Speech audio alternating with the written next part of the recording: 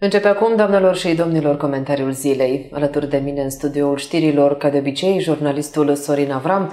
Bine revenit, Sorin. Bună, Cătălina, bine v-am regăsit. Suceava e centrul educației zilele acestea, centrul educației naționale și internaționale, găzduiește etapa națională a Olimpiadei de Creativitate Științifică. Sunt peste 250 de elevi din 29 de județe, 3 sectoare, 100 de profesori, E a patra ediție deja și are o particularitate. Ea cumva s-a născut de la Suceava, Olimpiada aceasta.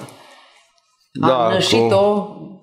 rectorul Popa când era ministru al educației. Bun, uh, uh, domnul Popa și cu largul concurs al domnului Petru Crăciun, care el are foarte mulți olimpici pe zona asta, astronomie, astrofizică, ceva cu Și astfel. acum avea copii la Iași, unde se desfășoară Olimpiada Da, Națională. domnul Crăciun este un pasionat uh, de uh, acest domeniu și dumnealui uh, are foarte multe rezultate de foarte mare prestigiu obținute cu elevii. Eu nu știu ce a trebuit lui șef ajung la inspectoratul școlar. Nu se potrivește în peisajul de acolo. Da, nu știu, chiar N-a el, reușit nici să, ele să-i dea pe tehnocrat, ceilalți după așa, el. Da. Și că ajung la inspectoratului ce să faci? Să-ți uh, ocupi tu timpul, știi?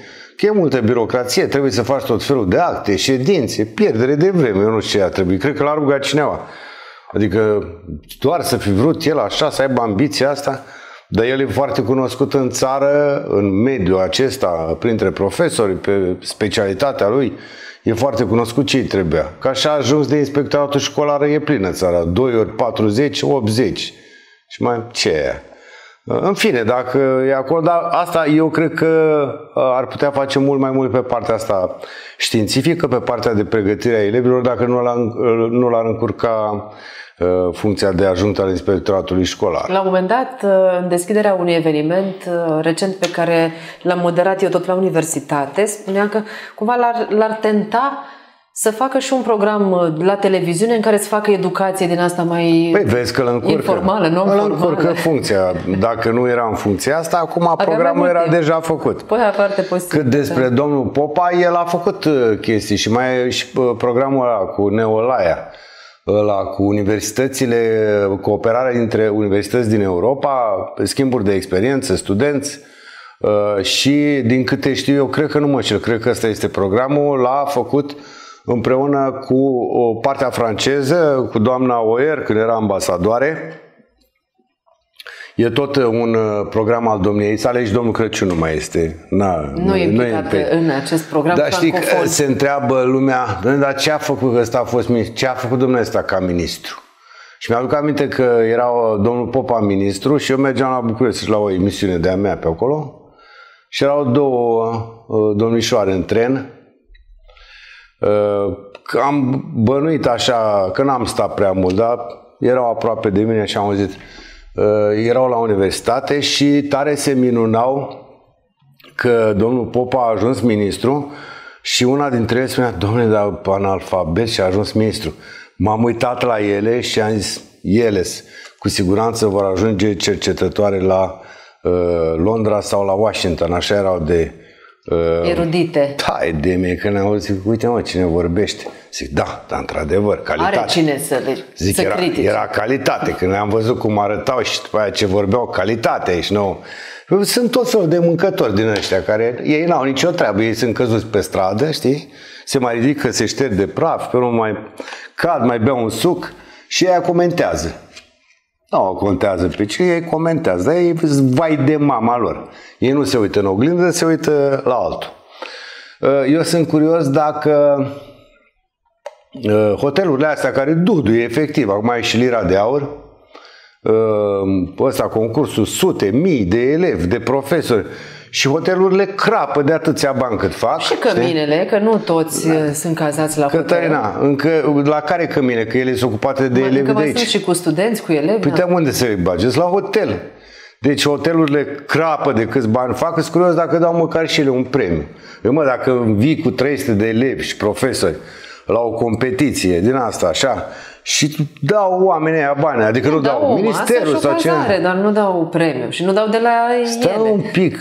Din banii aia pe care îi face hotelul, hotelul ăla nu dă și un premiu la un elev? Eu sunt tare curios. Sau bagă banii toți în buzunar.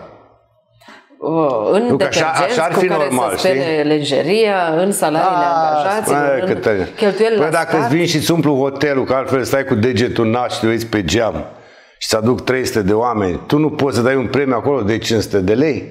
Sau ce? E o idee, nu s-a gândit probabil Eh, nimeni nu, până acum. Nu știu, poate uneori da, dar nu cred. Ăștia cu selele de nunți și corup, adică să facă bani. Eu mă la, că la selele astea de nunți îți dă la uh, o nuntă chitanță pe 15.000. O mie- Pe 15.000 de lei, 150 de milioane vechi, Da. nu? Și că atât, atât ai pe o seară. Chitanță, dar nici nu ai voie să tai de valoarea asta chitanță. Sau nu știu, dar niște Sunt sume niște astea limite în bătaie de joc, reglementate. că atâta costă. Da, e bine dacă poți să-ți faci o nuntă cu 15.000, cu 500, cu 500 de invitații, e bine, nu? Asta să fie valua- contravaloarea meniului Păi da, că- păi dacă, și chiria sălii, da, 15.000 de lei. ești. angajații care servesc. Și Nu așa la mai angajat să mai departe. dai nimic la negru. Dar nu le mai dai nimic, practic. Ei Nimic, vin, nu. Din, uh, deci în Suceava cu 15.000, dedicație. anul trecut parcă era. Poate acum au fi 16.000. Cu 15.000 îți faci nuntă. avem, Eu nu știu uh, cum la eba, dau ăștia la restaurant o porție de mâncare uh, șas- 60 de lei. Cam așa e un felul 2. 60 de lei dacă e 15.000 la o nuntă cu mâncare, băutură și muzică. Uh, Nu, muzica e separat. Ăștia la restaurante fură. mâncare, băut, unele băuturi Da. și chiria sălii. Că doar aia nu se Și întreține chiria singură. să... Păi așa, dacă te uiți la nuntă cât e, zic la restaurant ar trebui să fie un fel 20 lei. Nu? Dă seama câți bani îți rămâne după o nuntă, Sărine, când te gândești, poate că mai faci pasul odată. Da. Consiliul Județean Suceava a premiat uh, elevii, nu i-a premiat, nu le-a dat nimeni de la hoteluri, restaurante, săli de nunți, dar le-a dat uh, Consiliul Județean premii celor 386 de elevi care au obținut rezultate deosebite la Olimpiade județene, naționale, internaționale și chiar la competiții și intergalactice, școlare dacă mai pentru continuai echipe un pic. sportive. Da. Uh, bun, uh, Consiliul Județean, 386. Numărul crește de la un an la altul. da, Consiliul Județean era normal să facă lucrul ăsta de Consiliul Județean ca să încurajeze și educația și sportul, da, mai da Consiliul Județean. Și în anii din urmă, nu e uh, o Nu e- excepție nu că e e numai anul campanie ăsta, nu. electorală acum. Și Consiliul a dat Local, și la de sportiv, obicei. da. Se dau bani aici, nu are nimeni ce să comenteze. Mai să sunt se și găsească. fundații care, să, care dau premii. Uh, Copiii trebuie băgați în seamă, trebuie să vadă că cineva le are grijă, cum se spune, Totuși, și trebuie 386 încurajați. de Da, problema e că sunt prea olimpici mulți, adică ar trebui să se mai lase. Pentru că pun uh, bugetul județului în cazul de față la cheltuială. Deci cu cât mai puțini, cu atâta mai bine. Să o lase mai moale că te descurci în viață și cu șapte și cu opt. Să arate Și nu trebuie să mergi la Ce Olimpiadă. atâta școală trebuie, nu? Da. Ce faci acolo cât să mergi așa ca gâsca prin apă și după aia te descurci. Oricum, nu ajungi, poți să ajungi și ministru. Adică nu e o problemă dacă n-ai foarte multă școală. Nu vezi? Era o doamnă de la educație, trăgea niște de, dezacoarde, cum o cheamă? Doamna Anisi. Actuala, nu. Da, an- parcă ea. Anterioara. Dădea niște dezacoarde de ferească Dumnezeu. Și ea era ministra educației. Iar mâine ai acolo o, anunțul unui eveniment uh, interesant uh, care se petrece la Dornești. O să discutăm și post-eveniment cu niște invitați interesanți.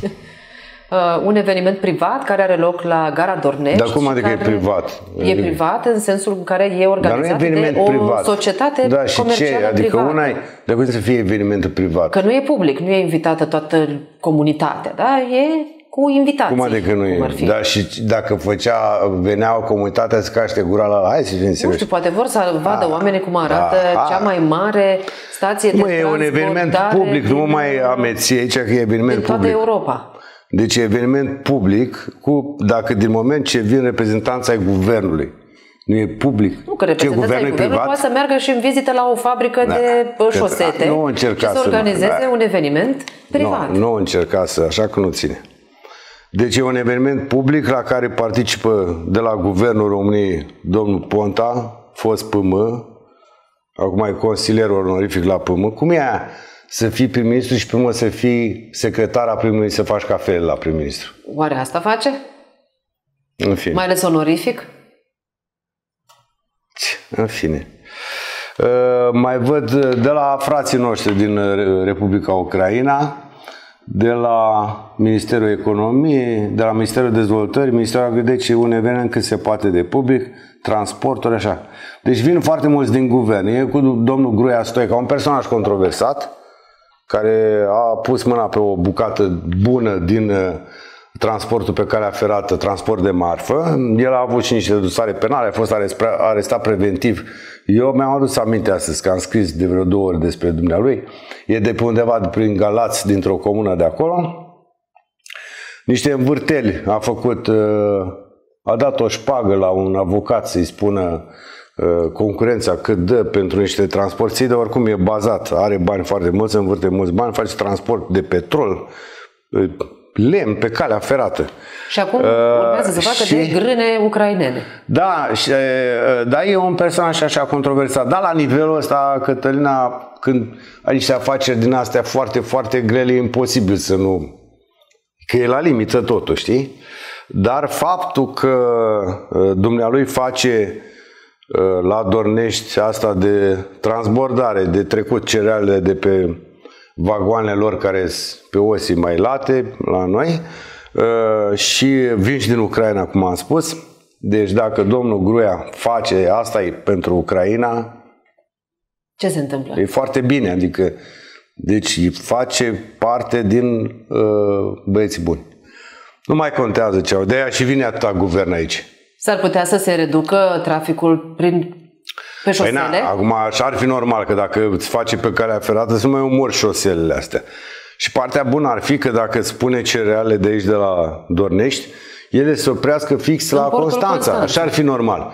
Pentru că dacă, pe da, dacă era cu tirul, se mai oprea la Bădia Gheorghe la poartă, la Nea Vasile la moară, la Bădița Gheorghiță la fermă și așa mai departe. Și unde mă, că nu mai ajungea cu grâu și era, ieșea cu scandal.